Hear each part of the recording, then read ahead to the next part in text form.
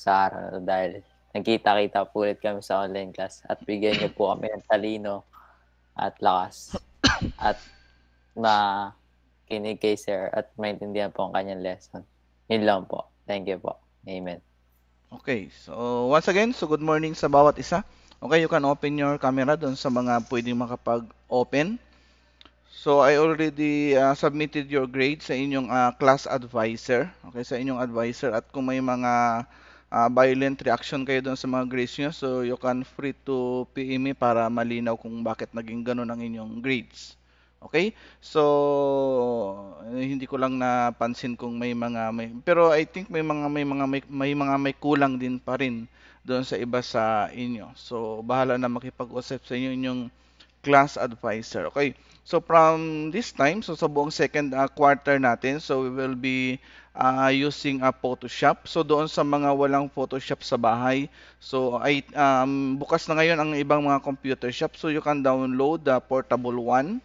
So you can uh, save it in your flash drive. So kahit na hindi na kayo mag-install doon ng uh, Photoshop sa uh, shop na pupuntahan nyo, so you can open the Photoshop apps from your flash drive at uh, you can do the, the our activities. Okay, so ang activities natin ng mga ipapagawa ko na activities ngayon ay hindi na tayo magpasa ng mga picture-picture lang.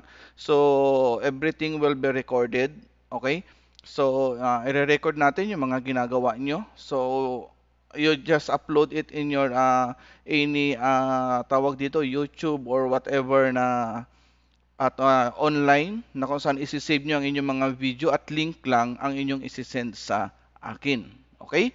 So, ganun po ano. So, ang palagi niyong uh, isa-submit lagi ay yung video nyo kung paano nyo gagawin yung mga activities natin at pangalawa, yung file mismo ng PSD, okay, ng Photoshop. So, wag nga, uh, I mean, kahit hindi nyo na ipasa yung mga JPEG file or PNG kung hindi ko naman hinihingi. So, ang importante sa lahat, yung file ng PSD mismo. Okay, pag save nyo, nakasave dapat ng, uh, ng Photoshop kasi bubuksan ko uli yon At, uh, most of the time, ay yung video kung paano nyo yon ginawa. So, kung, maka, kung sa shop lang kayo, pwede nyo gamitin yung cellphone nyo to video yung process. So usually naman, hindi naman ganun katagal yung uh, process na gagawin natin. Or gagawin ninyo.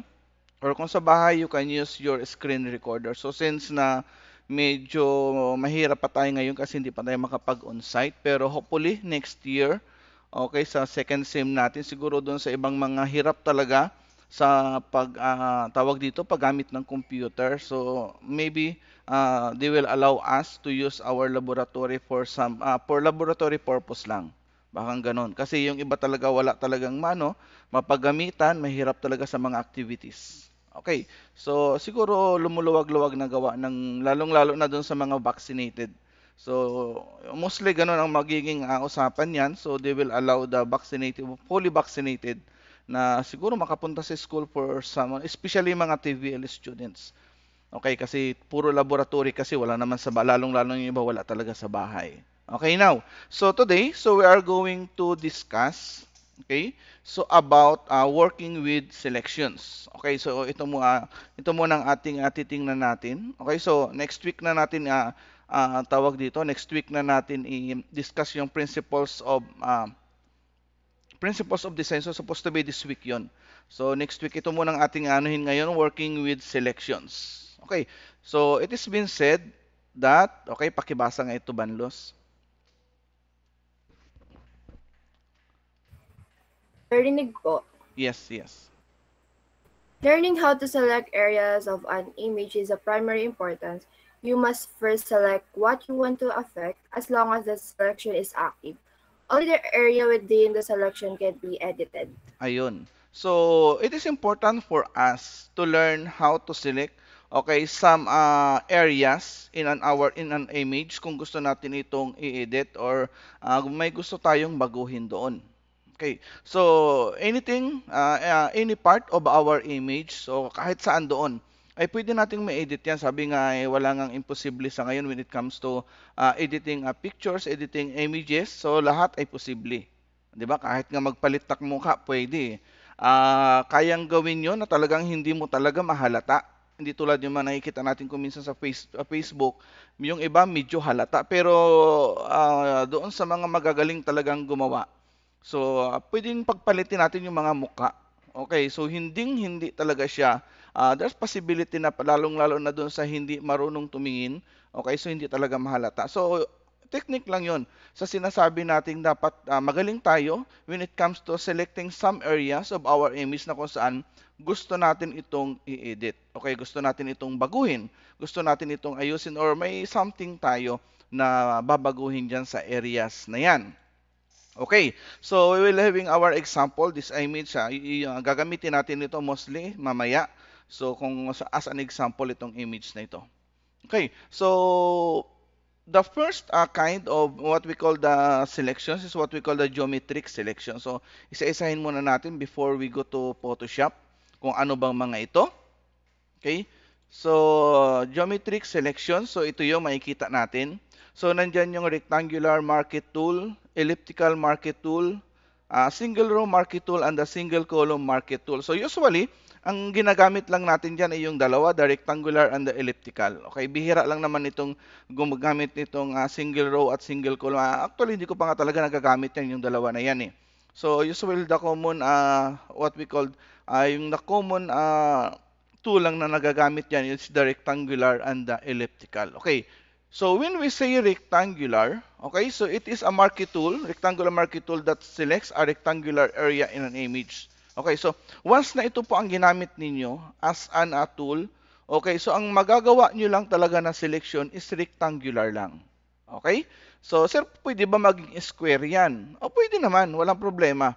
So, pwedeng mong gawing square yan. So, bahala ka na magsukat kung paano mo gawing square yan. Pero it is designed, okay, so to select a rectangular uh, selection within the image. At yung pangalawa, pag sinabi nating elliptical marquee tool, Okay? So, ito yung nasa ilalim naman ng uh, rectangular marquee tool. Ay, it selects elliptical areas. Pabilog naman siya. Okay? It can be an oblong, it can be a perfect circle, o basta pabilog siya. Okay? So, hindi ka na mahihirapan pa kung paano pabilogin yung selection mo. So, ito yung gagamitin.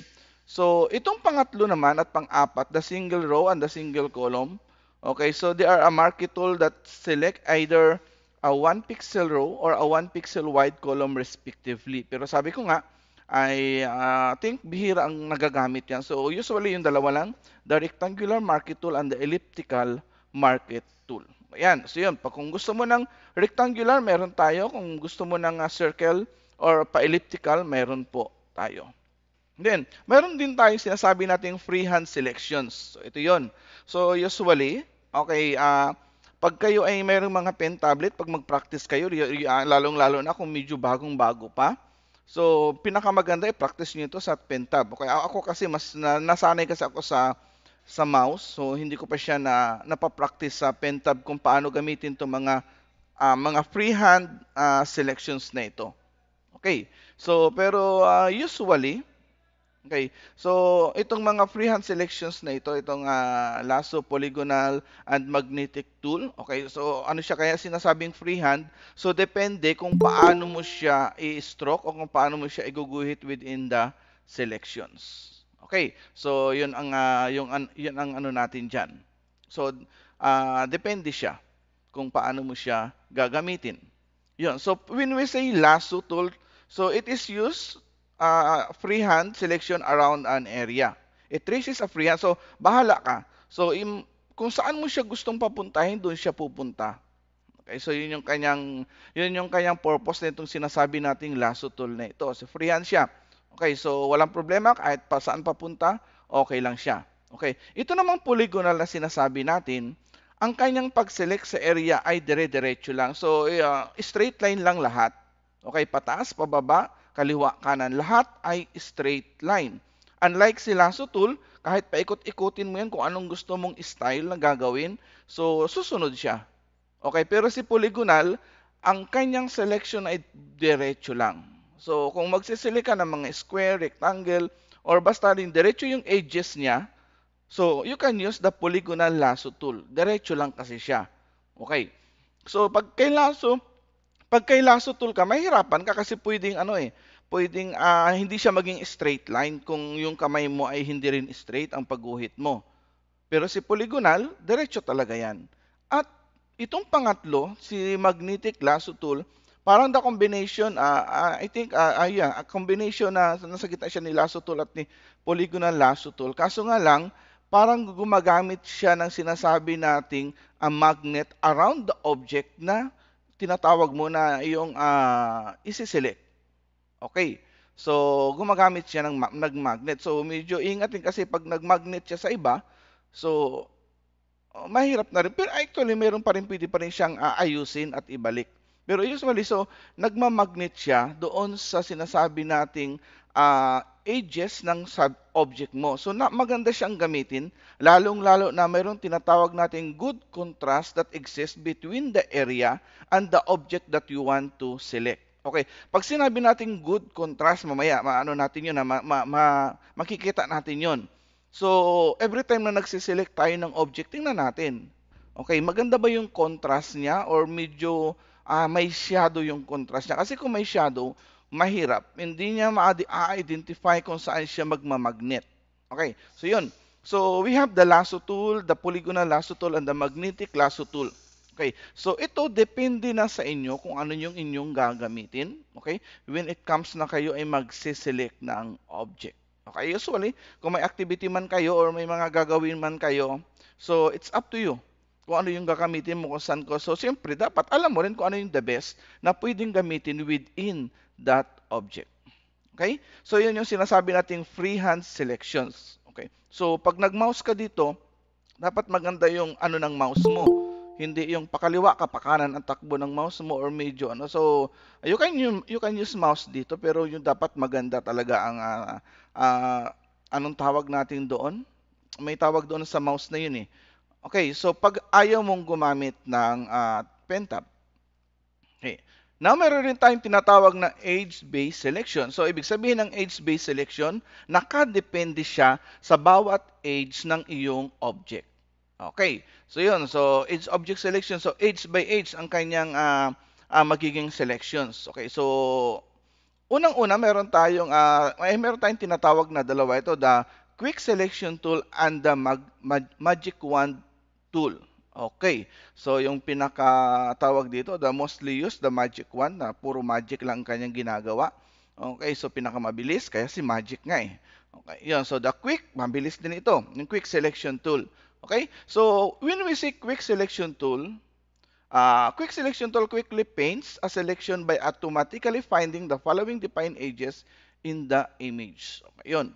So, gagag, uh, pwede mo itong gagamitin kasi once na clinic mo ito sa object, automatic Okay, hahanapin niya yung pinaka-ages, pinaka-age ng image na sinilik mo. Yun yung kanyang, yun yung kanyang gagawin. So pag wala kang magandang contrast between the object and the the background of your object, so mahihirapan si quick selection tool kung hahanapin yung yung yung age ng image mo. Wala pag shadow, ang hirap noon. Okay, so hindi niya malaman kung saan siya pupunta kasi ang kanyang function is age by age. So, kanto by kanto. Kung ano yung pinaka-dulo ng image mo, yun ang kanyang hahanapin. Okay. So, itong isa naman, itong tinatawag nating si Magic Wand Tool, paano naman siya? So, ano naman ang kanyang hinahanap? Okay. It is uh, selects the parts of an image based on similarity on pixel color. Okay. Sa kulay naman. Okay. Sa kulay naman siya. Okay. Wait lang. Ibabalik natin mamaya. So it is useful for selecting odd shape areas that are that share specific range of colors. So tandaan nyo, si Magic Wand Tool ay maganda siya na gagamitin doon sa mga object na same color. Walang nagsishadow, walang nagbe-blend na color. Kasi ang hahanapin lang niya ay yung same pixel color lang. Okay? So kung yung age mo nagsha-shadow, hindi siya magiging ayos ang selection ni Magic Wand Tool. Kasi ang hahanapin lang niya kung ano yung same color pixel niya, yun ang kanyang hahanapin. Kasi alam natin, so uh, our objects is uh, object uh, is composed of pixels, di ba? So millions of pixels 'yan. So may bawat kulay 'yan, isang pixels 'yan. So yun lang kanyang hahanapin. Okay, by color. Ito color base. Itong sinasabi nating si Magic Wand. So kung iba-ibang kulay na isi-select mo, ay mahihirapan. I, I mean, kung there are blended colors sa object mo, hindi advisable na gamitin si Magic Wand tool. Okay? Sa pure single color lang talaga siya maganda. Okay? So, yun yung mga, ibalik ko lang yung uh, isa kay, ano? Yan kaya, quick selection tool. Okay, so yun yung uh, mostly na ginagamit natin when it comes to selecting images. Okay, yun ang pinaka-basic. Because there are some other way Okay, sa uh, madadaanan din natin 'yon. There are some advanced way kung paano tayo mag-select ng object. Okay, mas may, may, may meron kasing mas advanced at mayroon tayong tinatawag na basic. Pero usually, uh, pag gusto mo ng mabilisan, okay, ginagamit ko pa din itong mga itong mga selection tools na ito. Okay, may, may mga applicable caps kasi na sa halip na gamitin ko yung lagi ko nang ginagamit, ngayon ay ginagamit ko na ito para mas mabilis. Kaso nga lang, mm, may meron pa rin tayong makikitang difference. Okay, ma, maano natin 'yan? Madi-discover natin 'yan as we go on. Pero at least nakita niyo yung different uh, different tools na ginagamit natin when it comes to selection. Lalo na kung mga, mga mabilisang gawa, napaka-useful itong mga tools na ito na ating pinag-aralan. Okay, so yon. Now, so punta na tayo ngayon sa tawag dito sa Photoshop.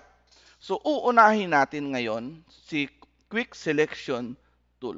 Okay, so sabi nga natin siya, so eh, it automatically select yung image na ating uh, nakikita. Okay, so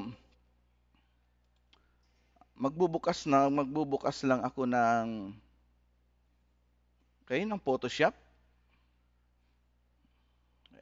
Let me share my ano. Okay. So, enter screen. Share natin.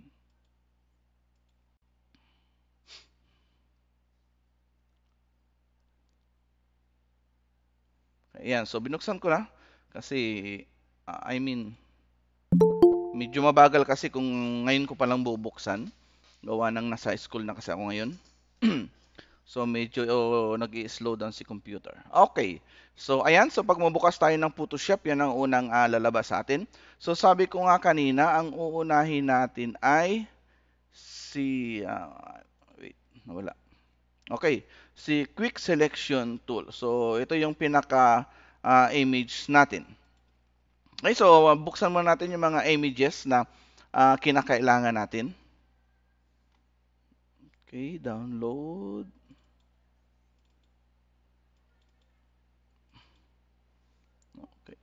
Ito muna ang bubuksan natin. Okay. So, open muna natin lahat ng images na possible na okay, kinakailangan natin para dire-diretso tayo.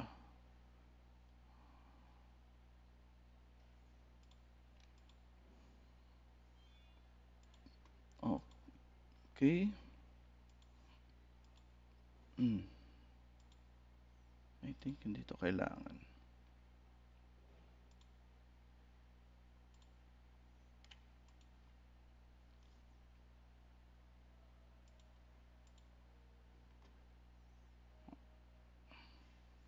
Okay, this one, this one.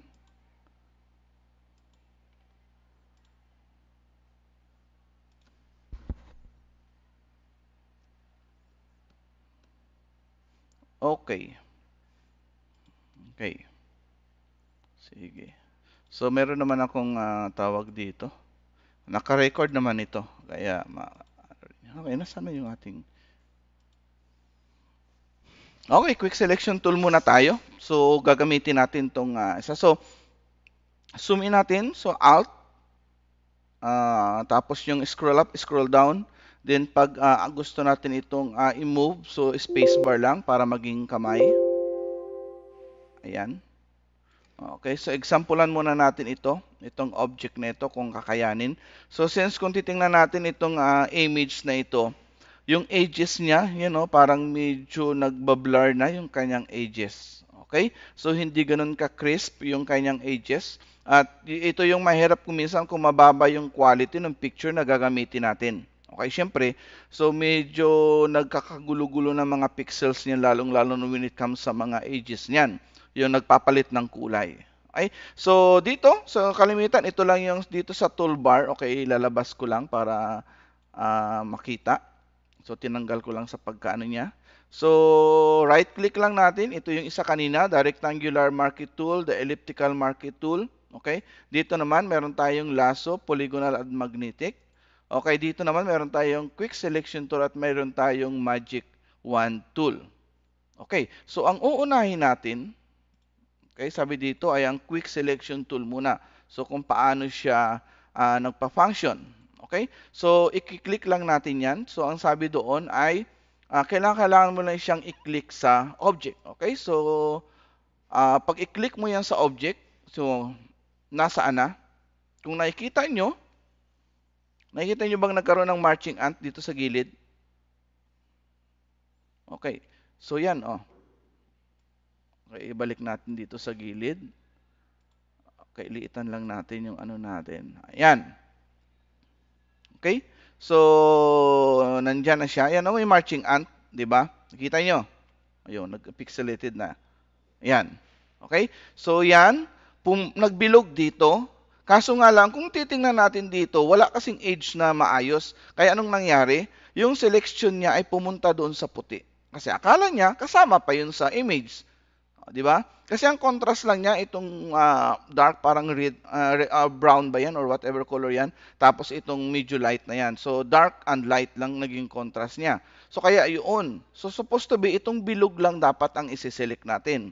'di ba? So nandiyan yung marching ant niya dito. So mostly okay naman dito sa baba, okay naman dito. Pagdating naman dito kung titingnan niyo dito sa part na ito, okay? So anong nangyari? So medyo uh, nagbumaba din siya uli. Okay, so dito, bumaba din siya uli dito. Okay, dito sa part na 'yan.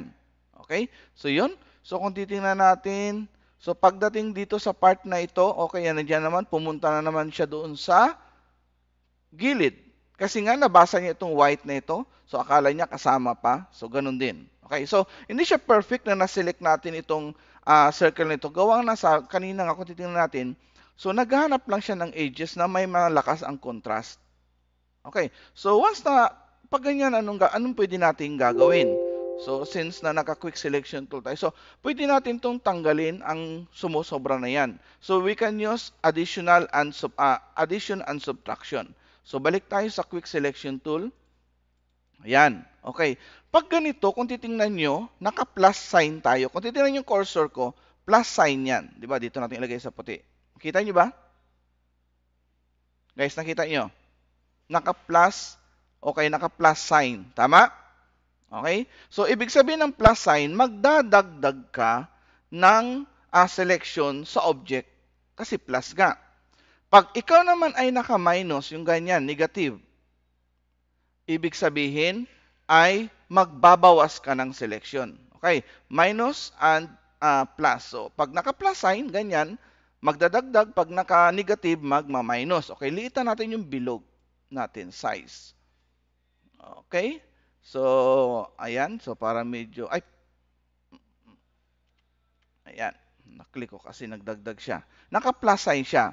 So, since na ito ay sobra, okay, dapat ang gagawin natin dito ay minus. So, dito sa taas, makikita nyo sa upper right side, mayroon ditong plus at mayroon ditong minus. So, pag i-click mo yung plus na yan, naka-plus yan. Pag i-click mo itong minus, naka-minus yan. Okay. So, since na minus ang gagamitin natin, magbabawas tayo. So, i-click natin yung minus din.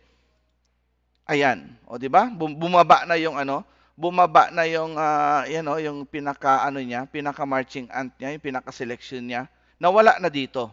Okay? So nandito na. So i-minus pa rin natin ito, itong nandito sa baba. Okay? So pag i-click mo yan, so doon ka magki-click ka kung ano yung mabayos na, ayan. So nagbilog na. So although, kung titingnan natin ng malapitan, yan oh, nagkakagulo oh, hindi siya diretso. Okay? So hindi siya diretso. Okay. So, marching ant. I think, uh, uh, let me see kung pwede nating uh, baguhin ito. Kasi itim at ano eh.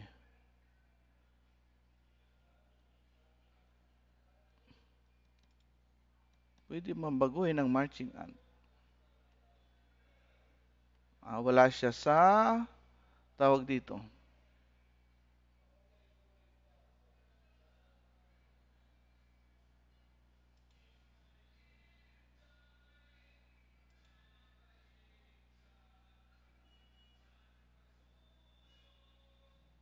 Okay? So, wala siyang pwedeng, hindi natin pwedeng mabago para makita talaga sana. Ayan, so hindi siya diretso, pero hayaan mo na muna natin yan. Then, dito sa kabila, okay, ganun din. Okay? So, pas, pag naka-plus sign ka, okay, ang, ang shortcut natin kasi hassle naman, pupunta-punta ka pa doon. Okay, just uh, press Alt. Once na na-press nyo yung Alt, nagiging minus yan. Okay? Pag binitawan nyo yan, nagiging plus yan. Okay? Pag prines ko yung alt minus na yan, magbabawas siya. Okay, bawas mo. Huwag mong bitawan yung alt muna habang nang gusto mong minus. Ay sumobra yan, bitawan mong alt para mag-plus siya ng konti. Ayan. So kung saan yung dulo nitong abilog na ginagawa nating cursor, so pwede nating liitan pa siya ng mabuti para ma maging precise. Okay? Tulad nito, okay, minus natin yan kasi sobra. Ayan. Okay? So, spacebar para ma-move natin. Ayan. So, alt para maging minus. Matanggal natin itong ano na yan. So, dito masyadong malaki. Okay, so minus yan. Ipaikot lang na natin dito sa bilog. Ayan. Mawawala na yan. Ayan. Ayan. I-drag lang natin sa palikot sa bilog. Okay? So, nawala na siya. So, medyo sumobra dito. So, ito yung disadvantage pag yung edges niya ay, okay, so hindi contrast. Ayan. So, naayos na natin. Uh, bawas, dagdag, bawas, dagdag lang. Okay? So, ganun lang ang, ang ginagawa. Pero, pag yung edges natin ay tama, okay, sa halimbawa, ganito. Okay, di ba? White and ano na talaga. White and uh, different colors na yan. So, automatic yan. Okay. So pag nag-quick selection toolbar at uh, tool tayo, yan oh, walang lalampas yan. Kasi nga maganda yung contrast niya. O, di ba? O, ano talaga siya? So may lumampas man dito na puti kasi may gray, so pwede mong anuhin yan oh. Iurong natin. Sumusobra pa din kasi nga mayroon siyang ibang kulay na nakikita. Yan oh, kung malapitan ninyo. Okay? So may iba siyang kulay. Gawa ng may shadow yung kulay niya, so pixelated na kasi may shadow. Pero pag malayo, okay lang naman. Okay. So, yun.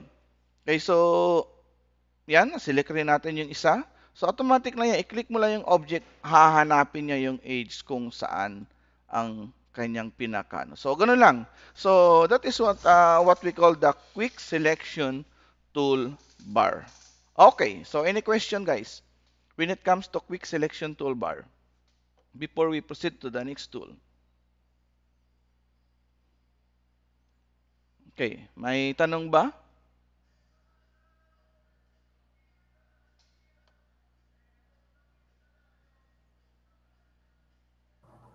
Wala na po. Wala na. Okay.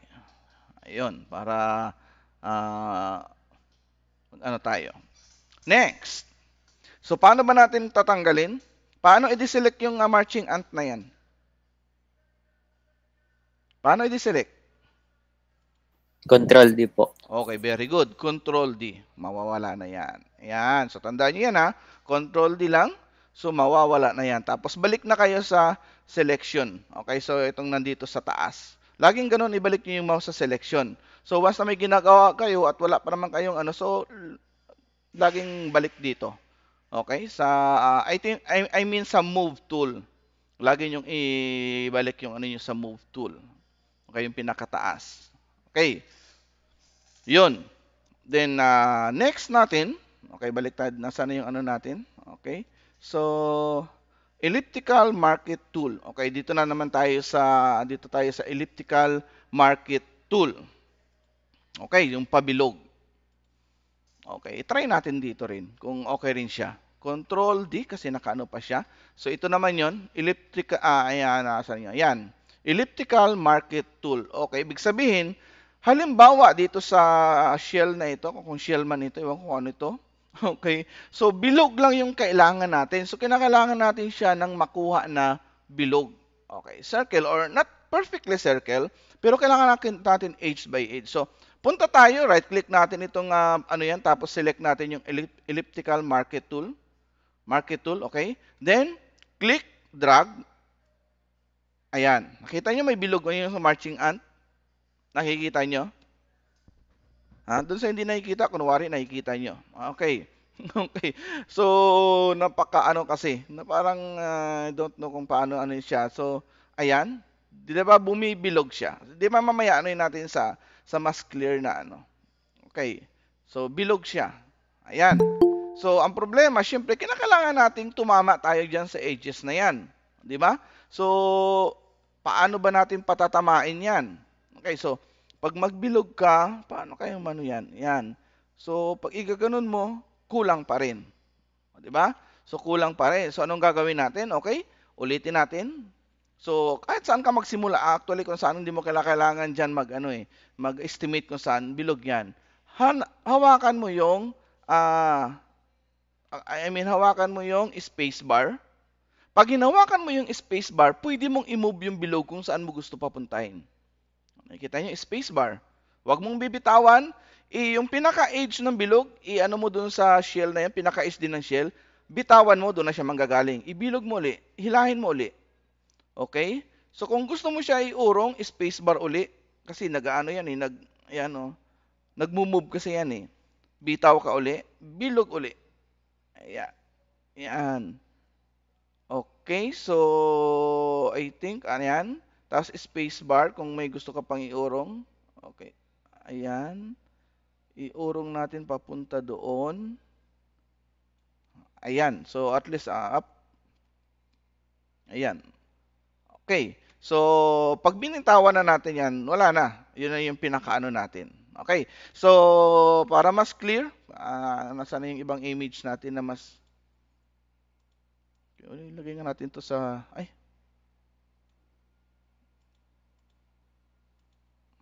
Wait, yung bilog na Okay, wala na yung ito ng pinaka natin na bilog na red. Mas kita kasi. Pero maliit lang image natin. Ayan, ulitin natin ano? Okay, so elliptical market tool.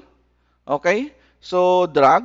So pag ano, laging left click yun ha, pag sinabi nating drag natin ha. So, kasi pag hindi mo pindutin yung left click, kahit anong move mo dyan, wala. So, left click, then drag pababa. At least dito kitang-kita. Okay? So, hawakan natin yung uh, tawag dito. Hawakan natin yung space bar. Okay? Then, ganyan. Okay, di ba? Nandun na. Tumama na yung kanto doon sa taas. Okay? So, ito yung mano-mano na paggawa natin ng biluga. Mano-mano ang tawag natin dyan. Manual. Okay, so meron kasing mas mabilis. Pero kunwari, uh, ganito, gusto nating imamanual talaga siya. Kasi kung minsan may mga image na hindi mo naman talaga makita yung age. Kaya ang gagawin mo, imamanual mo talaga siya na bilog, okay? Spacebar para umurong. Tapos pababa naman. So, depende kung saan mo siya hatakin. At I think okay na. Then, bitaw. Ayan. So, yung pinaka-marching ant niya ay nasa gilid na. Okay? So, gano'n na. Nasa ano na? Nasa gilid na. Yun. So, laging gano'n na. So, another. Okay? Elliptical. Okay? Pag ano, drag, hawak ng hawak ng uh, spacebar para ma-move mo siya. Okay, ba hindi natin each by each, ano lang, uh, parang may ano siya. Okay. Drag, Ayan. Okay, so kaya adjust mo. Pero once na binitawan mo na yan, wala na. Okay, so yun. So yan na talaga dapat. Okay, control D. So paano mas may another way kung paano na mano natin ang elliptical. Okay, hahanapin natin yung pinaka-center point nitong uh, tawag dito, nitong uh, circle na ito. Doon tayo magsisimula. Pwede rin ganun. Okay? Center by center. Tapos ang gagawin natin dito sa ating paano natin mahanap ang uh, tawag dito, ang pinaka gitna nito. So hanapin natin yung gitna ng uh, taas at gitna ng gilid, syempre. So ang roller natin, right click natin. Ang gagawin natin huwag inches kasi ano, ano to eh, 3 inches mahigit eh, magkikwenta-kwenta pa tayo, ang hirap nun. Ang gagawin natin, percentage tayo. Percent. O, kita nyo? So kung saan yung 50%, yun yung gitna, syempre, automatic, di ba? So magdadrag tayo ng ganyan, okay? Gitna na yan, kunwari, okay, kasi nasa 50 naman talaga. Magdadrag tayo ng ganyan, okay? So yun ang pinakagitna natin. Okay, select natin sa elliptical tool. Okay, itapat natin yung cursor. Okay, lapit ko ha, kahit medyo ano siya. Itapat natin sa gitna yung cursor. Pindot ng Alt at ng Shift. Okay. Alt at Shift. Automatic yan kahit saan mo hilahin yan pababa. Pantay ang paglaki ng bilog. Okay, perfect circle yan. Okay? So ayan, perfect circle siya. So medyo hindi lang nag ano siya, ibig sabihin tong circle na uh, pula ay hindi siya perfect. okay. So siya ang hindi perfect. Oh, pwede nating i-move 'yan. Hawakan mo yung uh, space bar. Okay, tatlong uh, tatlong daliri na nakahawak dapat sa keyboard natin. Yan para na-move ko na siya oh. Okay, the the space bar, the alt and the shift. Ayan. Okay, I think Ayan. Tapos Ayan. So kung gusto mong uh, hindi ano, pag binitawan ko yung shift, ayan yung magiging result ayon doon sa paghata ko kanina. Pero pag ginawa ko shift, perfect circle yan. Okay, unang bibitaw yung mouse bago yung sa keyboard. Ha? So mouse muna bago keyboard. Kasi pag binitawan mo yung keyboard, ang mababasa niya pag ulalong lang pag naunang shift, hindi na siya perfect circle. So kailangan bitawan mo muna si mouse bago si keyboard. Yan. Okay? So, again, hanapin mo yung center niya sa pamagitan ng pag-set ng roller natin into percentage. So, automatic, 50%, gitna yon Okay? So, gitna noong image na, buong image sa hindi lang yung pula. Kaya medyo nagka-problema tayo sa perfect circle kasi ang image natin ay itong pinakatawag dito, itong may puti pa siya kasama yung puti. So I think parang mas malayo dito sa kanan kaysa sa, sa kaliwa. Okay? So, yun. So, hanapin mo lang yung gitna na yan. Okay, gitna ng uh, circle na yan. Uh, i-click mo, halaha, tapos pindutin, uh, hawakan mo yung Alt at Shift, hila. Automatic na yan. Pag hinila mo yan, ayan, okay, so magkaka-perfect circle ka na. Ayan. Then, ana, uh, pwede mo nang i-select yan. Okay, so selected na siya. So, yun, ang ano natin. So, pero kung gusto mo siyang i-move, since hindi siya perfect, so pwede din naman.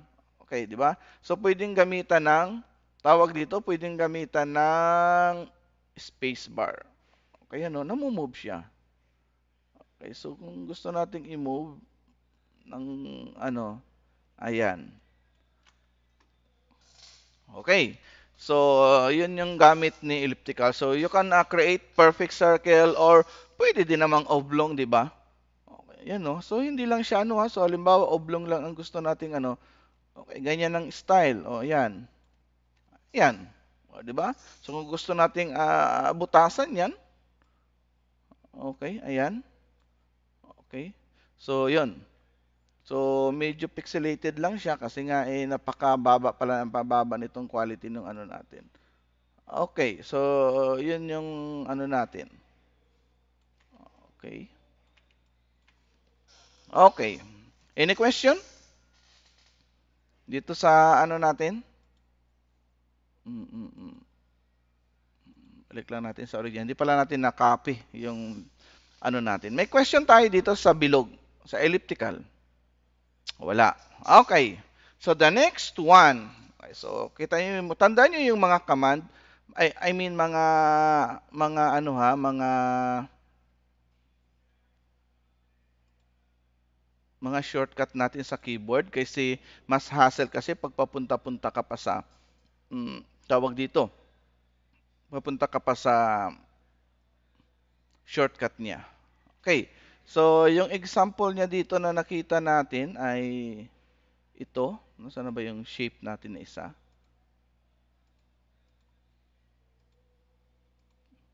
Ayan. So, ito pala. Itong bilog na ito ang kanyang pinaka-sample dito. Yan, pwede rin natin gamitin ito sa elliptical natin. Okay, so ito kasi hindi siya bilog, 'di ba? So parang oblong siya. So okay rin Okay rin lang. So, yun nga lang, parang masakit sa mata na hindi makita kung nasaan na. Okay, ulit, ulitin ko. Okay, so dito tayo magsisimula sa task. Kinakailangan alam nyo. Ayan, oh, di ba? So, ang hirap lang makita. Kahit ako, kahit ako na nandito na sa ka, ano, hindi.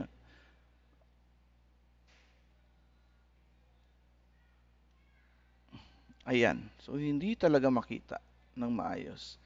Gamit ang space bar, ayan. So, I think, ano, ayan na. So, kung yan lang ang kailangan natin, ayan, wait, wait. Uh, okay. So, ayan, pwede natin siya makuha. Yan, yan, yun lang kailangan natin eh. Yung bilog na yun. Okay? So, nakukuha na siya. Ayun, elliptical. Okay, okay? So, balik tayo duplicate muna nga natin tong layer na to. Okay, para kahit ano ay eh, mabubura natin. Next! So, ang susunod, ay okay, wala tayong question ha. So, magtanong uh, kung ano may question kayo, magtanong lang. Okay, ito na. So, rectangular market tool, okay, magic wand tool. Okay, so ang purpose ang gagawin natin ngayon ay Okay, so itong image na to, nasana yung shell na ano kanina, yan. Kita nyo? Okay. Ang isi-select lang natin ay itong shell lang mismo. Okay. Itong shell lang mismo ang isi-select natin. So, gusto nating baguhin ang kulay nitong shell. Sama, gusto natin na lagyan siya ng iba't ibang kulay. Kaso nga lang, hindi natin malalagyan ng iba't ibang kulay yan kung ganyan siya. So, sabi nga natin kanina, ay uh, we can only edit those uh, or gusto nating i-edit siya or whatever na modification na gagawin natin doon sa mga selected items natin. Okay, so since na uh, ito ang ating isi-select itong shell na ito, uh, sino ba dito ang gustong gumamit ng ano? Pwede bang gumamit ng quick selection tool? Tingnan natin. Oh my god. Oh, yan. Oh, di, ang hirap naman kasi 'di ba? Parang pwedeng ganun-ganun lang kaya pero lumalampas parang ang ano naman, parang pag nagmamadali ka at isang daang pirasong ganito ang gagawin mo, siguro abutin ka ng siyam-siyam. Okay, so yun. Pwede bang gamitan ng magic wand? I think yan, yun. Or i-click mo pa yung, ay sa magic wand kasi per color talaga eh. Pag nilipat mo, wala na eh. Okay? ba? Diba? So, kung masipag ka, pwede mo gamitan ng laso yan. O, diba? Okay? So, uh, yan, if kaso nga lang, paano-ano yan. Okay, so mamaya, makikita, ma, hindi pa naman natin ano yung lasso tool na yan. Okay, pwede mong gamitan ng poly, ah, polygonal kasi dire-diretso, hindi rin pwede. Magnetic, mahirap din kasi ang edges niya. So, ang problema kasi natin dito ay itong, yan, yan o, yung style niya, yung edges na yan. Okay, so now, anong gagawin po natin sa selection natin? Okay, so una, So para itong ano lang mismo, itong uh, shell lang ang gagawin natin. Ano, gagawin, gagawin maglalagay uh, tayo ng rectangular market tool. Okay, rectangular. So which is yung kinakailangan yung maselect lang natin ay yung buong shell. Ayan. Okay, ibig sabihin, okay, ang selection na mangyayari or ang uh, tawag dito, ang uh, modification na mangyayari ay dito lang sa loob ng rectangular shell na yan. Okay, tandaan yan. Then, ang susunod natin ay punta tayo sa Magic Wand tool. Magic Wand. Okay? So, ang tolerance natin at least 32, sabi doon sa guide natin. Then, dito sa taas, meron tayo ditong new selection, meron tayo ditong add to selection, mayroon tayo ditong subtract to selection at mayroon tayong intersect with selection. So, anong gagawin natin dito? Hindi naman tayo mag-add ng selection. Bakit? Kasi may existing selection na. Okay. Ang purpose natin dito ngayon, within this selection na itong uh, rectangle na yan, para maiwan itong uh, maiwan itong shell na yan, anong tatanggalin natin? Anong ano natin? Tatanggalin natin yung white, 'di ba? Within the selection lang ha, itong sa selection na ito. Tatanggalin natin itong white within the selection. Okay. So, anong gagawin natin pagtatanggalin ang white? Simply subtract from selection tayo. So, punta tayo dito sa taas din, subtract. Pindutin natin itong subtract from selection. Okay? Naka-magic wand tayo. Then, pag i-click natin yung white, since na yung white ay solid color at wala siyang blending dito sa ano natin, Pag i-click natin yan, automatic, ang na-click na lang ay si shell. Okay? Ma meron dito sa loob, i-click mo lang yan. Yan, para mag-ano siya. Yung mga nasa loob na hindi niya naabot kasi walang wala siyang uh, pwedeng mapagtagusan. Okay? Lahat na ba ay okay na? Ayan na. So, principles natin kanina, kung ano yung nasi-select lang, yun lang lang pwede nating babaguhin. Yun, pwede, pwede nating ma-edit siya. Okay? Okay, ano natin sa move tool, mag-add layer tayo. Kasi atin siyang i ano eh, atin siyang i-modify. Add layer ka. Palaging ganoon na, kung meron kang modification na gagawin, always add layer.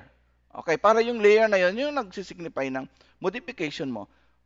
Kukulayan natin siya. Pwede bang kulayan yan? Okay, use brush. Okay, masyadong maliit. Lakihan natin yung brush natin para medyo mabilis. Yan. Um, opacity medyo bawasan natin yung kulay para medyo may blended. Ah, sabihin natin orange, pero parang orange-orange siya ng konti. Ayan. So, kung ibabrush natin yan, ayan na. So, si ano lang, hindi na ano yung background. Okay, naging orange na yung ano. O, di ba?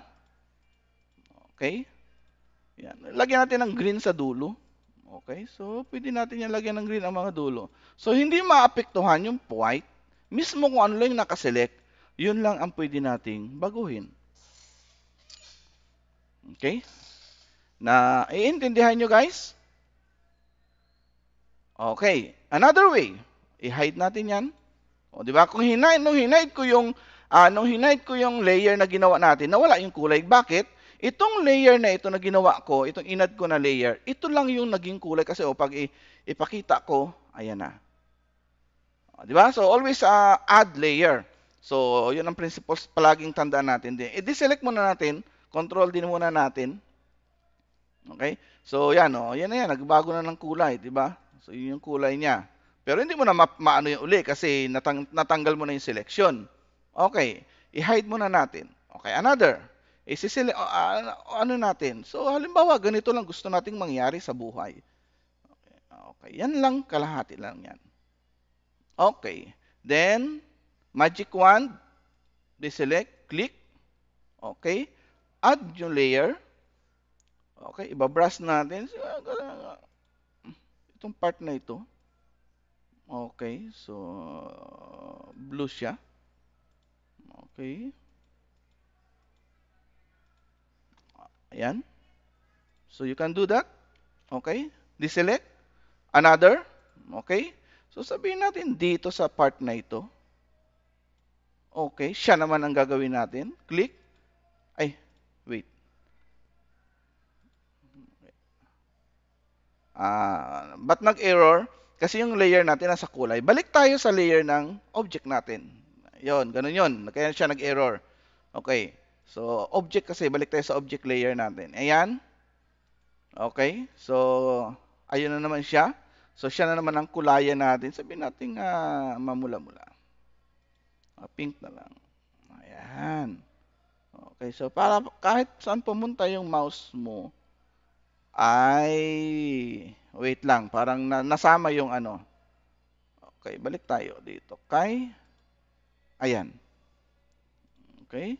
Then balik tayo kay magic wand. Ah, balik tayo sa layer natin ng ano, Ayun, nawala. Mali yung layer natin na nakaselect. Magic wand. Dit.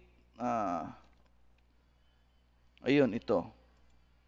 Ayan, may butas kasi. May ano, hindi na isama. Okay, wala na ba? Ayan. Then, uh, iba-brush na natin ngayon. Yan. So, yung may layer na tayong ginawa kanina, yan ang gagamitin natin. Okay, so this one. Okay.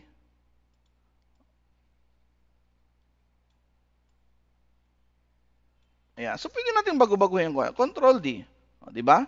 Then, gusto mo, lagyan mo sa gitna. Okay, balik ka sa layer ng, ano, okay, layer niya. Okay, huwag nating isagad. Ayan. Tapos, i-magic wand mo na naman. Click, click, click. Okay, para, iyan. O, marami kang i-click dapat yan hanggang maano siya. Ito pang gitna na yan. Okay, ito pa yata. Okay, kasi may butas yan. Okay. Then, ibabrush natin. New layer uli. Okay, since na another design siya. Okay. So, yan. Okay, nakita nyo?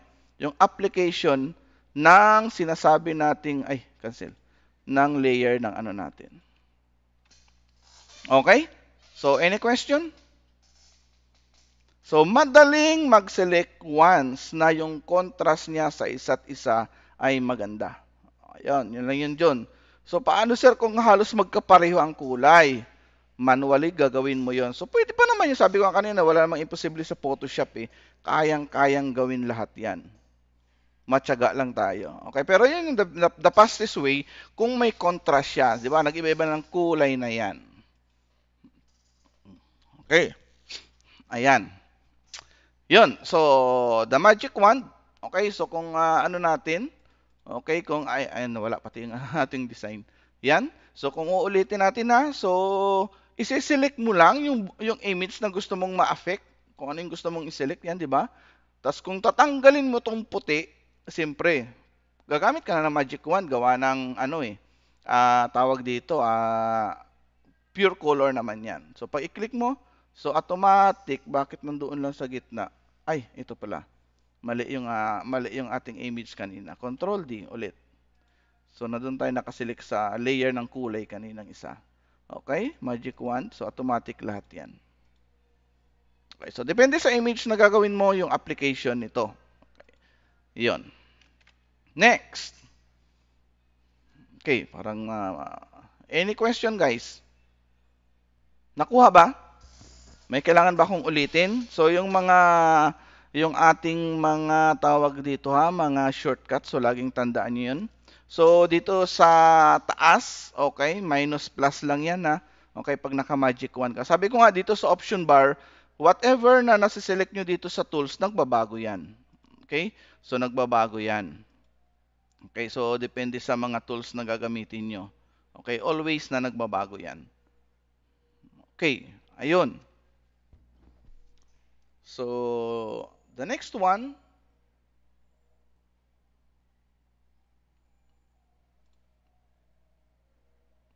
pala. Okay? So, dito na tayo kay lasso tool. Okay. So, lasso tool. Balik tayo doon sa shell. Excuse me. Ayan. So, pipin ito natin. So, sabi nga natin kanina, pag si lasso tool, freehand yan. Okay? So, i-rotate natin yung image natin para naka, ah, nakahiga siya. Hmm. Ayun. So, dito tayo mag-zoom in. Ayan. Okay, lasso tool tayo. Okay, sa freehand na tayo. Sabi ko nga sa lasso tool kanina, depende na yan sa kamay mo kung saan mo paiikutin yan. Yun ang masisilik niya. Kaya dito maganda pag masanay kayo gumamit ng pentab para mas precise yung pag-ikot ng uh, ng uh, tawag dito ng inyong uh, cursor. Okay? So, siyempre, sa starting point, i-click mo kung saan ka magsisimula. Okay? At huwag mong bibitawan yung, yung left click mo, parang nagguguhit ka ng ganyan. Yan, oo. Ayan, iguguhit mo yan ng paikot-ikot lang. Okay? So, huwag kang bibitaw. Kasi kung bibitawan mo yan, matatapos na. Ganon. Di ba? Lahat naman ng nagbibitaw talagang matatapos na dapat yan. Huwag nang ituloy. Kasi nag-close na yan. Okay? So, ganon. Huwag mo siyang bibitawan. Okay? So, ulitin natin. Starting point, click. So, kung dito mo gusto magsimula, ipaikot mo yan ganyan. So, di ba, imagine, pag mouse ang gamit natin, o tinan mo, tumaas, nadulas kasi yung mouse ko eh. Okay, yan. So, mahirap siya. So, ay, saan ba ito ginagamit? Saan ba ito ginagamit pag ganito? Mamaya, makikita natin kung saan natin pwede gamitin. Ayan. So, ayun na. So, nakameron na tayong selection. So, yun si Lasso Tool. So, hindi mo lang talaga siya bibitawan hanggang mabuo mo yung selection mo.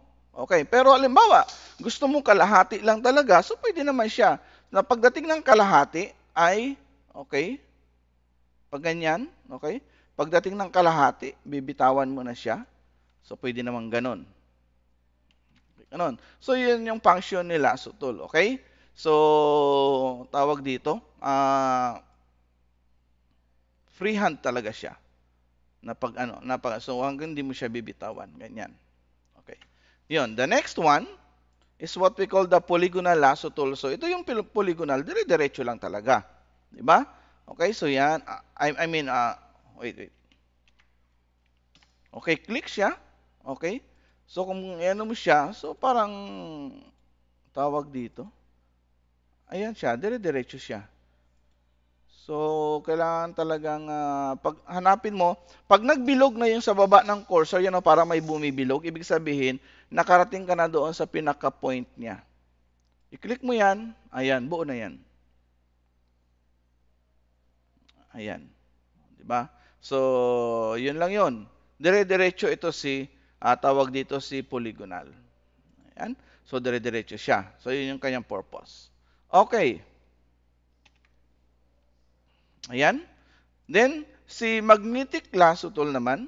Okay? So, from the word itself, imamagnet niya yung bawat edge na mayroon tayo.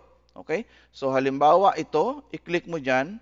So, yan, once na click, isang click lang. So hindi mo na siya hindi mo na bitawan mo na yung kanyang yung ano, yung uh, right button, ay left button. So ipapat uh, patatakbuhin mo yung mouse mo, okay? So kung medyo alanganin yung kulay niya, pwede mong i-click, isang click. Every time na mag-click ka ng uh, left button, nagkakaroon siya ng anchor point. Okay. So 'yon. So ibig sabihin, diyan lang talaga siya. Okay, so halimbawa, uh, pag nag-double click ka, automatic hahanapin niya yung starting point. Okay, halimbawa, dito tayo sa ano. Okay, so ah, itong shell ang gagawin natin sa ano. Ito si shell. Ayan. Okay, pabilog. So, dito tayo magsisimula. Okay. So, ayun. Ah, wait. Ah, tawag dito. itaas natin. Mahirap yung, mahirap, uh, ordinary mouse lang kasing gamit ko dito sa school. I-click dito tayo mag-start. So kung ipaikot natin yan, yan. Click lang ha, wag mo nang, pwede mong bitawan. Maglalagay ka lang ng anchor point kung alam mong alanganin yung ano niya, yung move niya. Ayan, okay. Ikot lang, anchor point para ano siya, maiwasan, ops, Bihira, lumala, yun, lumalampas ano. Yan o, hinahanap niya yung edge. Diba? Kahit nakaangat yung mouse mo, kahit malayo siya, hahanapin niya yung edge. Kaya sinawag na magnetic. Tinan mo yung nagmamagnet o. Malayo yung ano ko ha, malayo yung... So tulad nito, medyo alanganin ang kulay. Lagyan mo ng anchor point para dumikit. Yan o, malayo yan ang ano ko. Pero hinahanap niya ito. Medyo uh, nag-light ang color dito. Lagyan mo ng anchor point para hindi siya mawala sa pag-ikot. Op, op anchor point. Anchor point kasi medyo anong kulay dito, alanganin. Yan, nagkagan, ops, lumampas. Anchor point para hindi siya tum up. Anchor point. Anchor point lang kailangan para hindi siya, no? So, pero nagmamagnet siya. Ah, pataas na. So, pag ganitong ano, okay. Ayun. May lumabas. Kasi since na yung kulay dito ay halos blended na.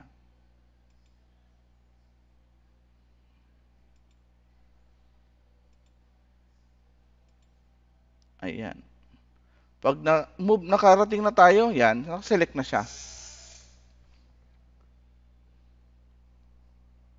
Okay?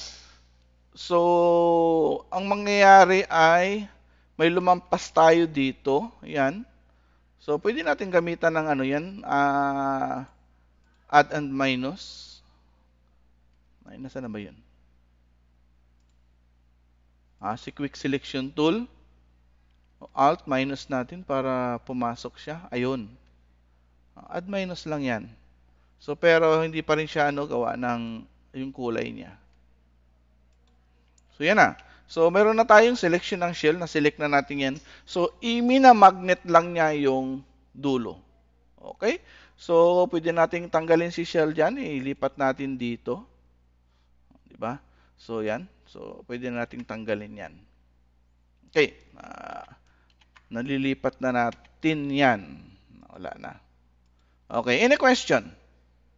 Kay magnetic tool. Okay. So, yun na. So, you can use the freehand, the lasso tool.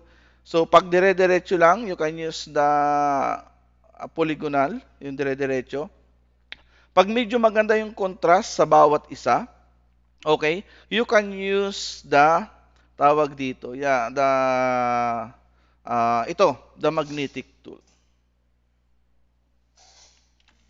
Okay. So, minsan may mga contrast talagang mahirap, 'di ba? So, kaya nga alam mo kung anong dapat na gagamitin. Okay. So, question. May tanong?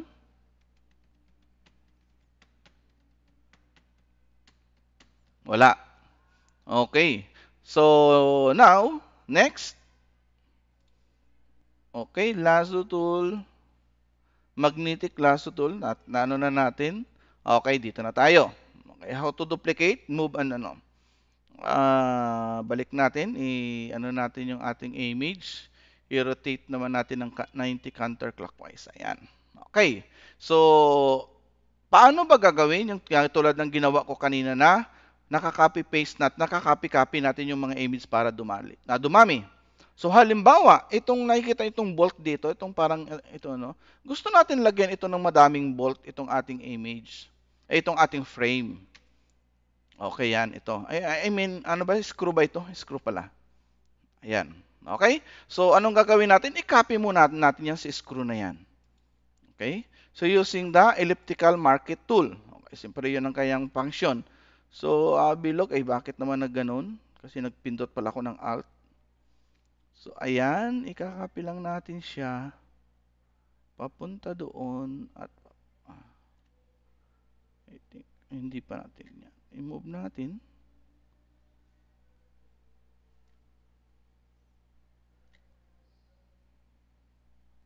Ayan. Okay? So, medyo kasi may puti na dyan, babawas tayo. Okay, bawasan natin yan. So, liitan natin ang ating uh,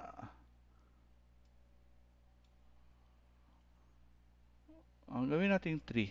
Actually, dito sa ano, pwedeng manual ha. 3. Kasi, okay yan. So, minus kasi gagawin natin, di ba? Para magmuka tayo, no? Para magmuka talaga siyang screw. Minus. Ayan, may papasok talaga siya. Okay, ayan na. Okay? After that, na na-select nyo na, okay? Control 0 tayo. So, na-select na natin yun, di ba? So, ibalik, bumalik ka doon sa Move Tool. Okay, balik ka ng Move Tool.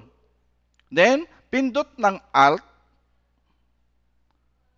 At para dire okay, para diretso yung ano, so Alt, i-click mo yung image, hilahin mo, mayroon na isa. Okay? Then, Alt uli. Okay?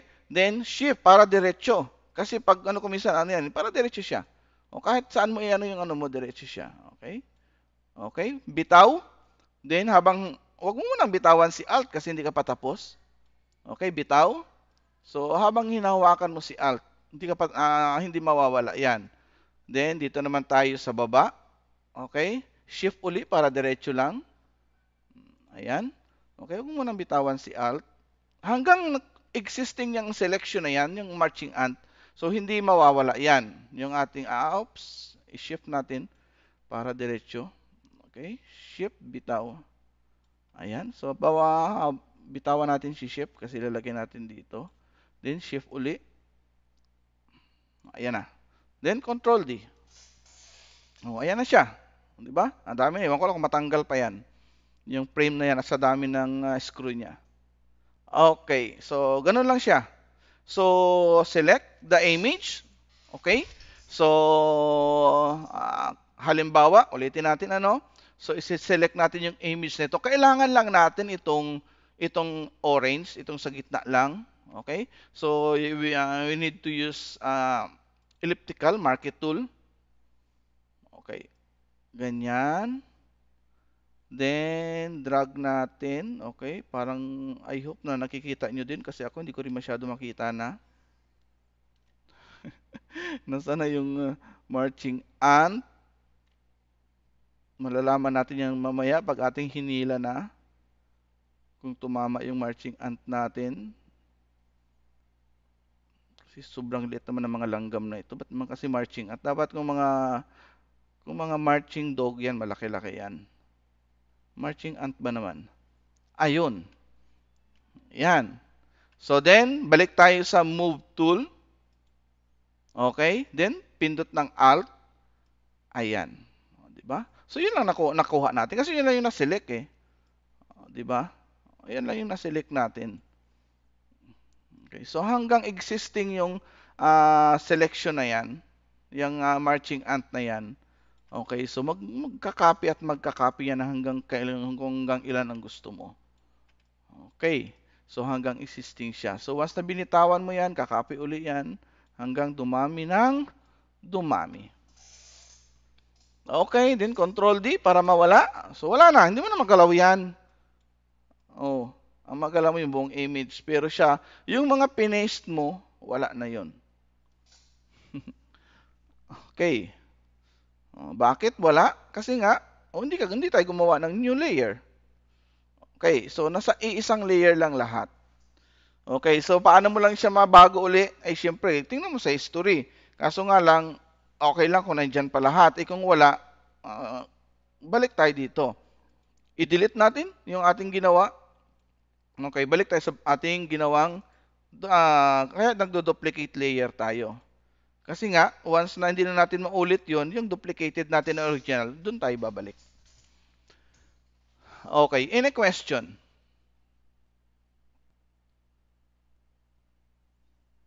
May tanong? May gustong linawin?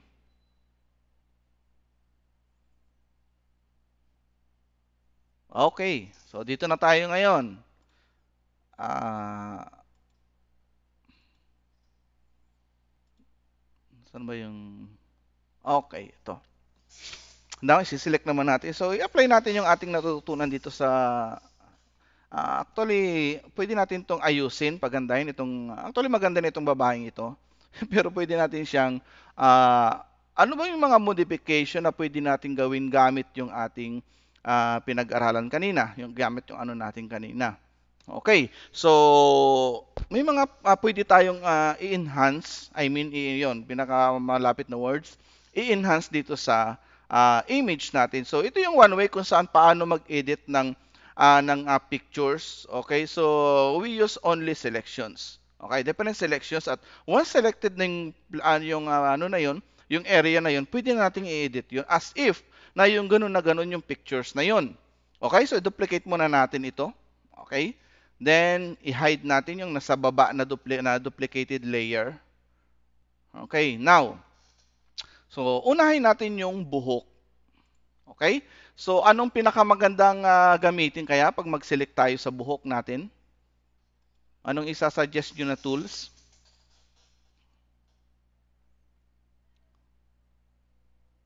Ano?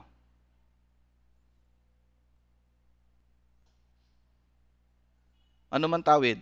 Anong tools doon sa mga gina- ginamit natin kanina since na buhok yung ating right click to ha para ah, ano po?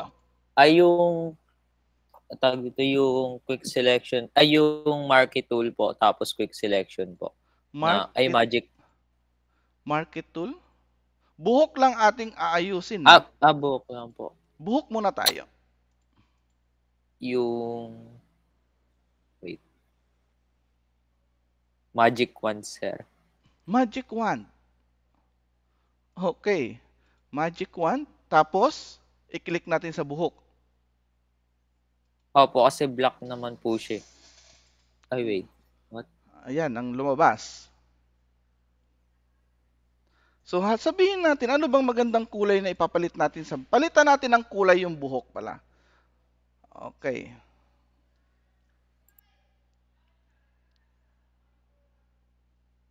Palitan natin ng kulay ang buhok.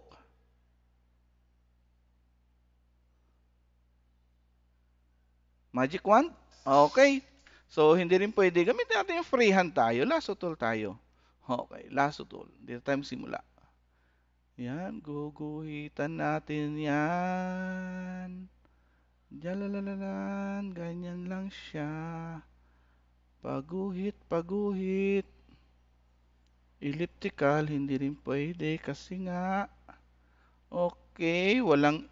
Ayan. Ayan.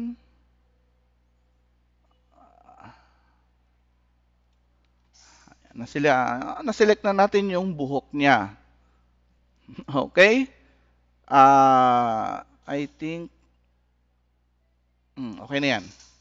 New layer. Anong magandang kulay ng buhok nilalagay natin? Pink po, sir. Pink. Okay. So, pink. Kulay ng buhok, pink. Ano yun?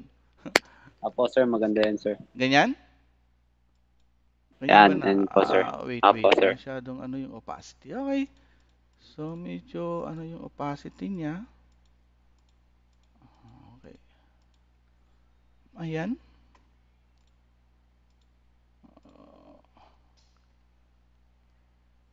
Hindi siya ikakat.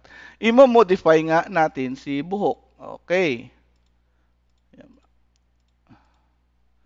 Ayan. Uh, then, uh, tawag dito. Ayan. So, yan yung pinaka, uh, natin, kulay natin. Okay, so nasa new layer tayo. Okay? Then, balik na tayo dyan. So, paano ba natin gagawin yan? So, yan na. So, anong gagawin na susunod natin? Okay. Uh, atin na siyang lilinisan, syempre. Okay?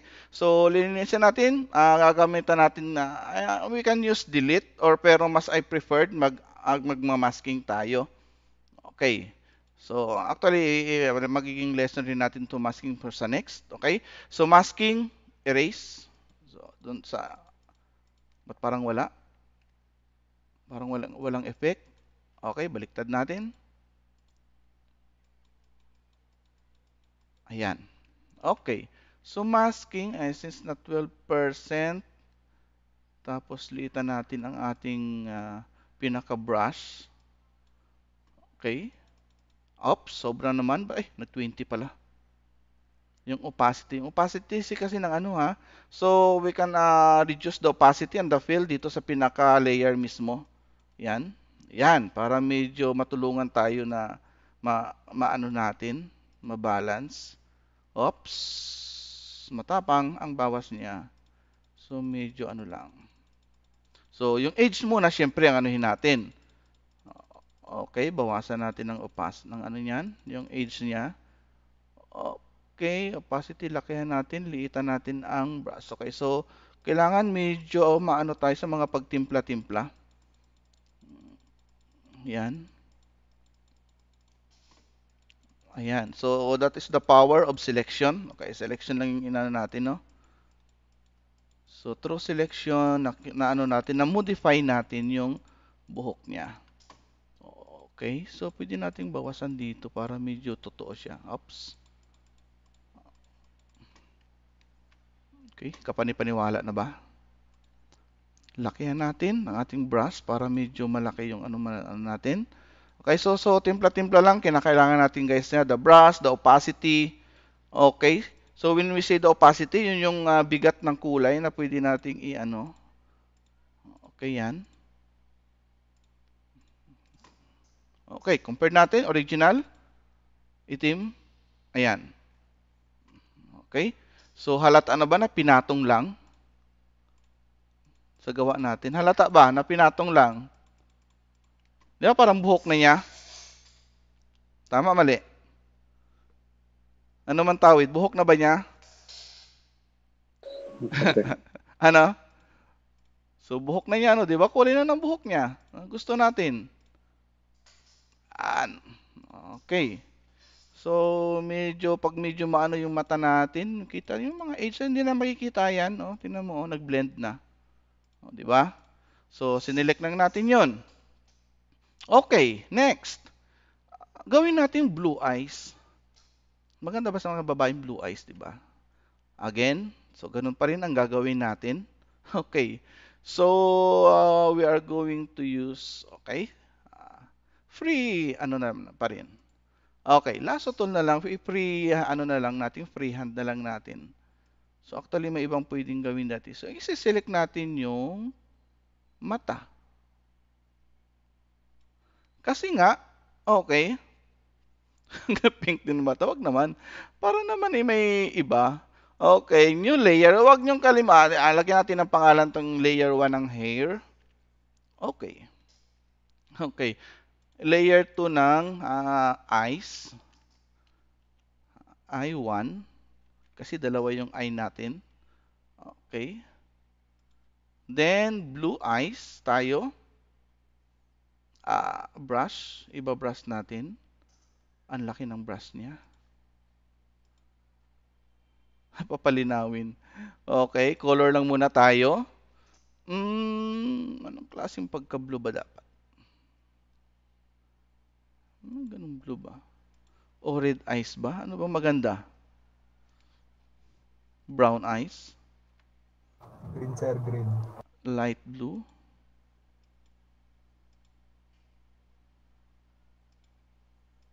Mamaya magano yan. Ah, uh, i-blend na lang natin. Okay. So I think uh, pwede na yan. Then, mamask natin siya. Bawasan mo natin ng opacity para para makita yung ano niya, brush. okay. So, yan yung power na. Medyo, hindi actually, hindi naman talaga siya totally na magiging blue. Medyo nagkaroon lang siya ng glimpse na hindi yung kulay niya kanina original talaga. Kasi parang magiging ano siya, mawawala yung ano niya eh. Naging katarata nga talaga. Kinakailangan ano pa din. Hirap sa mata eh. So marami kasing process pag sa mata. So talagang kaunti lang yung ano natin. okay.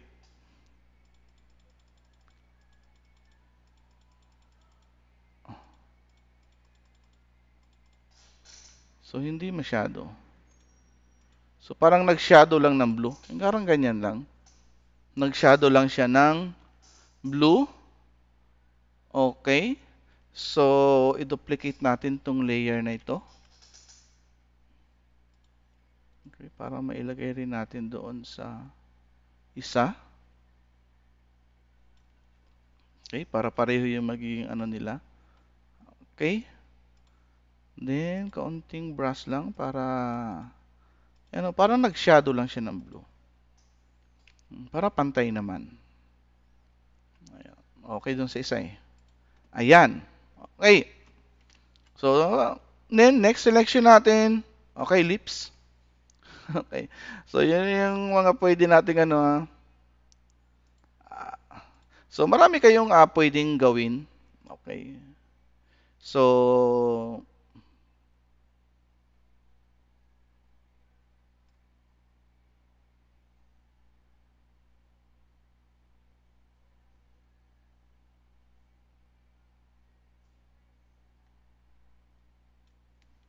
Yan.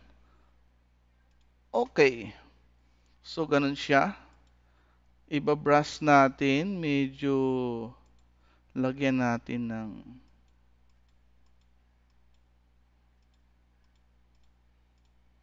Okay.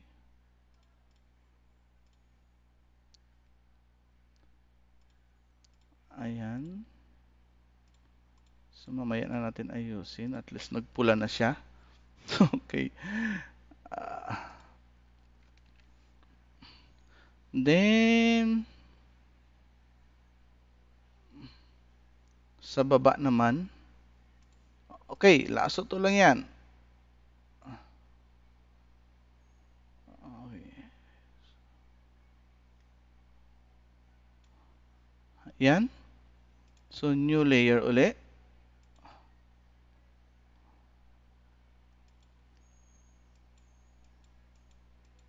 Yun ba yung kulay niya kanina?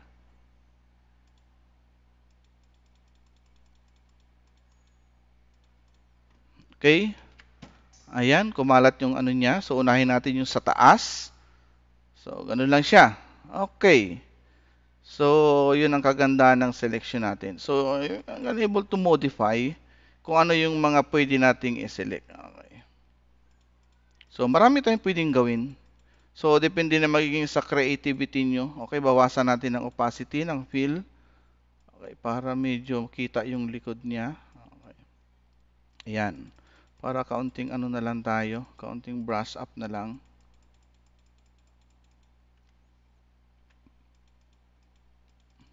So, hindi ako marunong mag-lipstick. Okay, so.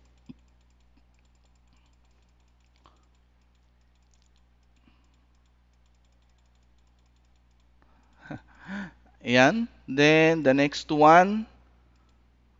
Oh. Ba't parang nababago ba siya? Okay. Ayan, para ano, mamula-mula ang labi. Tapos pwede nating bawasan dyan. Okay, maraming pwedeng gawin sa masking ha. So, pero ngayon ito lang muna ipakita ko kasi um, susunod na lesson natin yan. Yan. So, i-compare natin dun sa walang ano. So, medyo patay siya, di ba? So, yung may ano. So, may, pwede pa natin mag-shining yan. So, so yan. Then, para medyo uh, buhay dito, yung kanyang pisngi. Okay, so dito natin lagyan ng... Dito tayo magsimula. Ay. Wait lang. Wait, wait. Mali. Ah. Ayaw.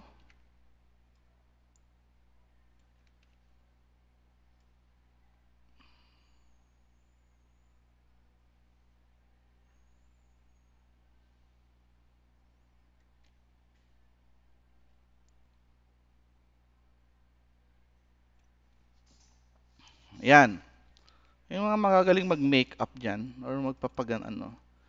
Yan. Uh, same color ng lips. Counting ano lang.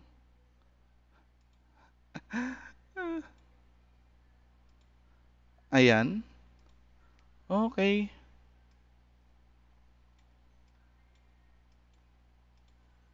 O, diba? Magbawas na lang mamaya.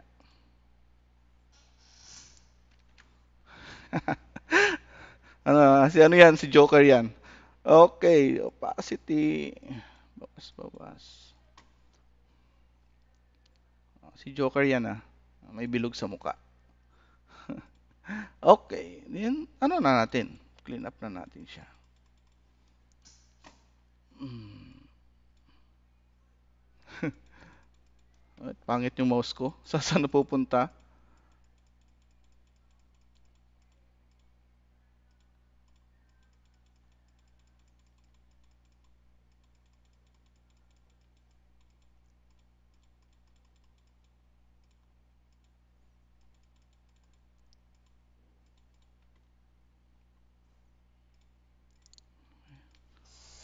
Ayan, parang Nag-blush kasi, kasi, kasi. Oh, di ba? Okay. Ayan. Yan. So, then, uh, last one. Lagyan natin ng, ganito ba yun? Anong tawag natin dyan?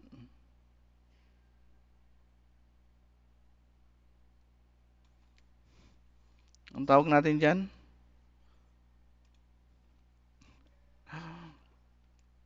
Eyeshadow. Okay. Yan. So,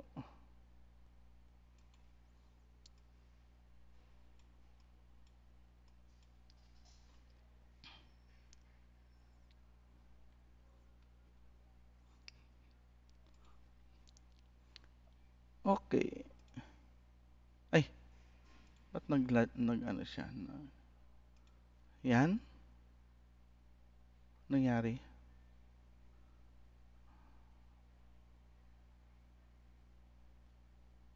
Tama ba? Okay. Ba't nag-itim?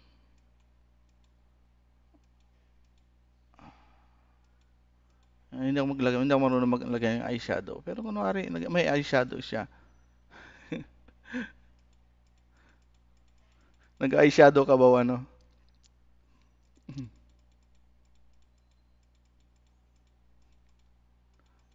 Depende na lang sa mata ko na. Sa mata na lang natin magandang kung paano ba talaga anuhin yan.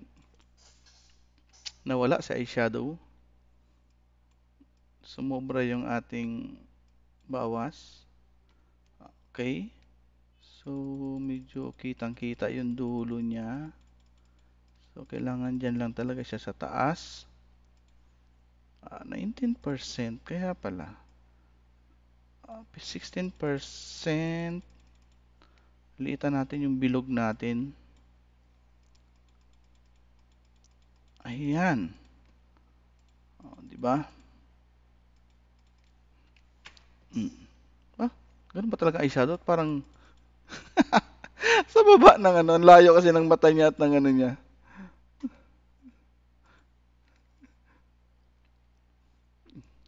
Baba ba konti dapat? Yan, ganyan.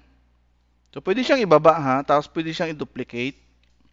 Kasi, ilalagay natin dito sa kabila. Diba? So, para pareho yung kulay. Kasi kung i- yan o. So, pwede nating ilagay yan dyan siya. Para pareho ang kulay. At, ang kailangan lang natin dito ay i-erase natin kasi sobra.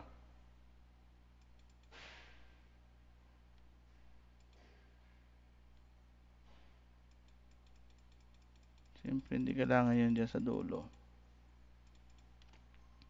So, kaso nga lang, parang baba siya. Yan. Okay. So, pwede rin na medyo, ah, actually si skin, ano na yan eh. So, sunod, iyan na natin na sa susunod. Kasi yung, kuminsan yung skin, pwede yung i-brush up.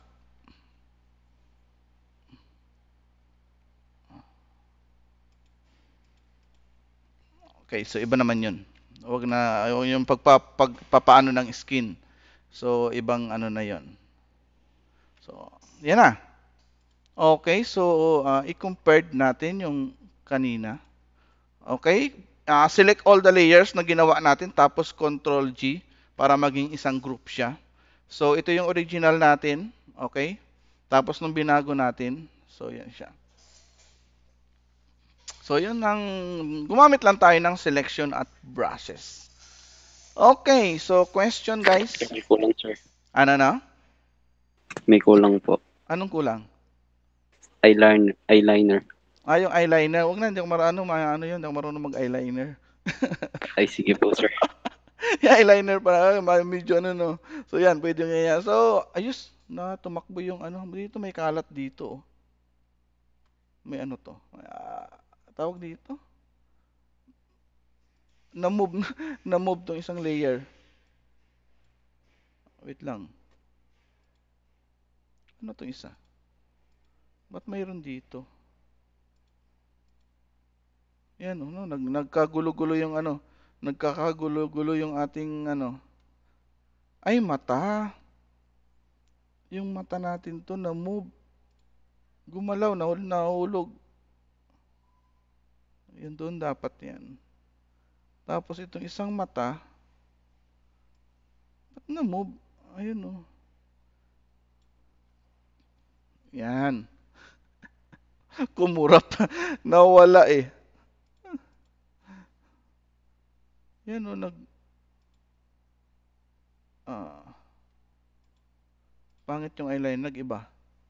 May ano siya. Ayaw niya. Dapat ganyan lang. Pati yung lips. Nagsipagtakbo nung inano ko, nung green o pinks ko.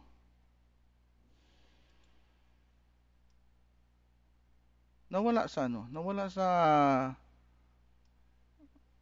sa position nila. Oo nga no. Nawala lahat. Ah, okay, nag-move. May napindot yata ako. Kasi naka-grouping siya eh. Ayan na. So, pati yung buhok, no-move nga. Yung kulay lumabas. Kasi nung nag-groupings, ay baka na-move siya. Ayan. Okay. So, yan ang magiging, yan ang pagkakaiba niya. Okay? Tapos, ang gagawin lang natin dyan, okay, control, okay, control alt shift E. Then, control shift A. Ay, control shift, tama, control shift A. Lalabas yan si camera row. So, pwede mo na ditong, um, para medyo maganda yung blended, pag-blend ng kulay, kina-camera row natin yan para lalong hindi mahalata yung pag-ano niya. Ayan. Di ba? So, clarity niya or ano. So, pag uh, sinave natin yan, wala na. Hindi na makikita yung mga pinag-edit natin. So, as if,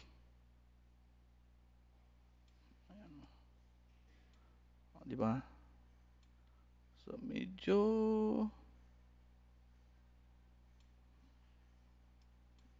ito mga pang-ano na ito. Mga, itong final touch, pag tayo nag-ano ng picture, halimbawa, for print na siya, ipa-final touch natin sa camera raw para sa pag-blend ng mga colors. Okay, saturation natin, more on, ah, medyo, yan, nag-ano na si ate, nagbilad sa araw kasi. So, dito natin, ano yung saturation ng kulay natin. Ayan. Diba? So, pag sinave na yan, nagkahipa talaga siya. So, pag gano'n natin, nagkahipas. So, sana kung gusto nating medyo yan, nagkakat ano siya. So, by blending ng color at kung ano yung gusto lang natin, vibrance niya. Ayan, clarity, blacks, ano pa ba, contrast, exposure, medyo puputi siya ng konti. Ayan. So, depende sa magiging timpla natin. Okay. Then, pag i-okay na natin yan, okay, so compare natin yung ano, yan, oh. So, medyo nagkaroon ng light siya. Okay. So, ito yung original natin. So, ito na yung binago natin. Original. Okay, so ito yung binago natin. Okay. Any question, guys?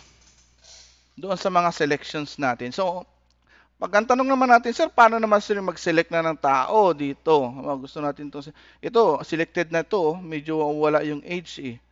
eh paano naman kung yung tulad ng isa, nasa isang babaeng kanina din? Yan. O, di ba?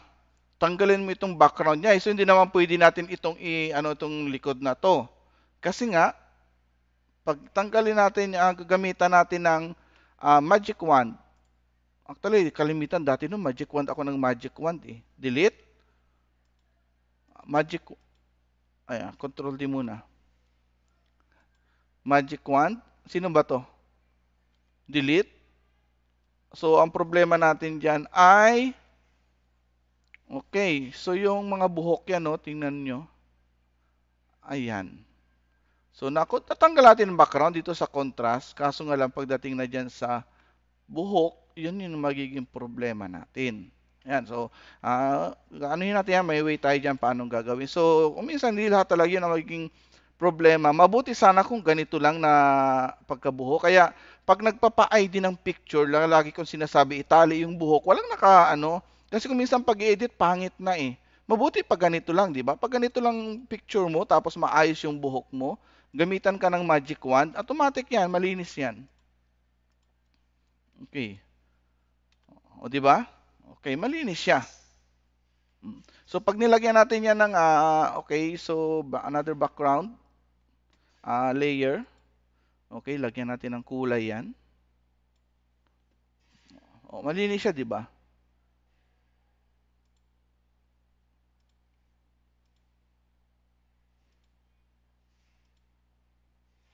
Ayan, wala na. Iba na yung background niya. Malinis siya. Compared dito sa isa. Okay, nasa na yung isang hair up. Ah. Yan. So, pag nilagyan mo yan, marami ka pang gagawing uh, tawag dito. Marami ka pang gagawing uh, touch up dyan. Gawa ng... Noon, nung bago-bago pa ako, ang ginagawa ko dyan, delete mo lang ng eraser, pambihira. Yan no, ang sipag ko mag-erase nun eh, mga ganyan-ganyan lang. Ano wala? Ba't na? Ito pala. Ba't ayaw ma-erase? Nasaan ba tayo? Eraser.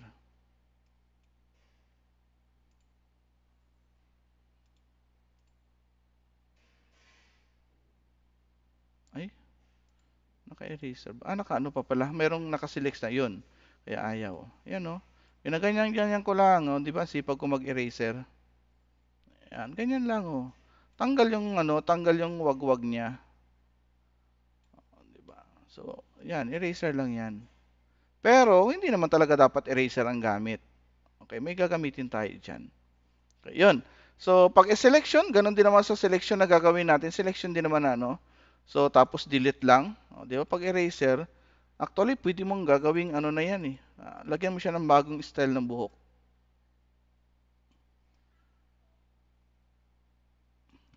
Yan. So, problema lang kasi itong ages kasi eh.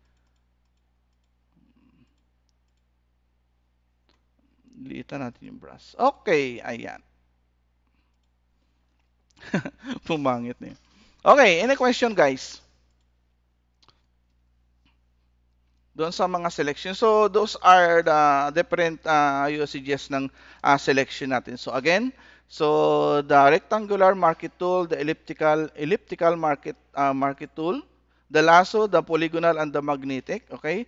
The quick selection tool and the magic wand. Okay, so depende na yan sa atin kung ano yung mga use, paano natin sila gagamitin into a useful way or sa mas mabilis na, na paraan.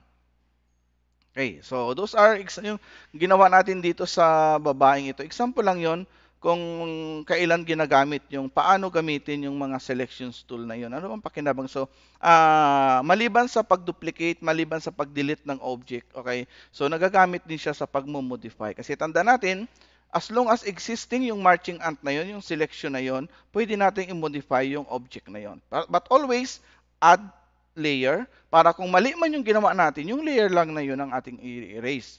Kasi pwede ba naman, pwede naman tayong hindi mag-add layer eh. Kaso nga lang once na natapos tayo doon, wala na. So, hindi natin mamomodify yung ginawa natin. Okay, so hindi na natin siya ma-erase, hindi na natin siya ma, ma, uh, matanggalan ng, ibig sabihin, ma maayos yung background niya. Okay, any question before we end? May tanong ba? Nakuha ba natin? So, once na kayo ang gagawa, okay, so, kaya na. So, may mga shortcut tayo sa keyboard at may mga, kung, kung ayaw nyo ng shortcut, meron naman sa Photoshop mismo. So, wala nang tanong? Wala na. Okay. So, uh, next uh, meeting natin will be uh, discussing about the the masking tool at doon ako magbibigay uh, ng activity sa inyo. Okay, so doon sa next meeting natin. So, uh, as of today, so hanggang doon lang muna po tayo. So since na wala naman kayong uh, ganong katanungan, I, I hope na nakuha ng lahat. Okay, so yun. So pwede nyo nang i-edit yung mga picture nyo. Pwede na kayo mag-practice. Ano? Okay, so practice-practice na. Hanapin nyo yung pinakamaganda yung picture at lalo yung pagandahin. Pwede nang baguhin ang hair. Okay? Di ba? So actually, itong uh, buhok na ito, pwede pa itong anuhin eh. Di ba? Nasaan ba yung hair natin? Ayan. Okay? So, pwede yang palitan ng kulay. Ayaw mo ng ano, adjustment. Ano ba yun? Use saturation. Okay. Sa kanya lang. So, ayaw mo ng kulay na yung, ah, nasaan na ba? Di ba na? Yan, no? So, pwede yung papalit ng kulay. So, ayaw mo nun. Okay? Parang type ko ng green, ano. O, di ba? Yan, di ka na magpapalit ng ano. Naka-layer kasi siya. Okay. O, kung gusto mo medyo green yung uh, buhok mo, so i-green mo. O, di ba? So, makikita mo ano bang bagay sa akin na kulay ng buhok. So, i-edit mo yung picture mo muna, pabago-baguhin mo. okay. So, di ba? So, i-post mo sa noon, uh, sabihin sa ba, pabago-bago ka ng kulay ng buhok, ah. Yun pala, inedit lang sa Photoshop. okay. So, ayun. So, kaya medyo wag tayo masyadong maniwala sa mga picture na nakikita natin kasi may posibilidad na inedit lang yan sa Photoshop. okay. So, hindi ganyan ang itsura sa sa personal talaga, pwedeng i-edit sa Photoshop. Marami tayong pwedeng gawin. So, as we go on, so marami tayong pwede pagtanggal ng mga pimples, pagpapaputi, pagpa ano pa ba? Uh, pag uh, pagandahin yung skin tone natin. So, yung mga tools yung ma, uh, habang madadaanan natin. tingnan natin kung ano yung application natin dun sa mga ginagawa natin. Okay, hindi lang healing brush. okay. So, minsan kasi hindi rin kinakaya ng healing brush eh. So, depende kasi yung sa gagawin. So, marami tayong pwedeng gawin sa pag-ayos ng mga skin tone. Okay, pag duplicate ng tao, pagpalit ng mukha. Actually, pwede ito palitan ng mukha eh. Hindi siya mahalata na tawag dito. Sa bagay, mukha lang, dapat kasama yung katawan para at least may application sa katawan. Pero pwede siyang palitan ng muka. Pero dapat ganyan-ganyan din yung uh, shape ng pagkuha ng picture sa mukha mo para lapat na lapat sa kanya. Lapat sa mata, lapat sa ilong, lapat sa ano. So ganitong ganitong mangyayari talaga. So pwedeng ganon. Okay, so matatry natin yun sa mga susunod. Okay, so any question? Wala na? So okay, so kung wala na guys, so that's all for today. So wala muna tayong uh, wala tayong uh, quiz. So sa next meeting na yung magiging quiz natin at yung magiging activity. Okay? So that's all for today guys and God bless everyone.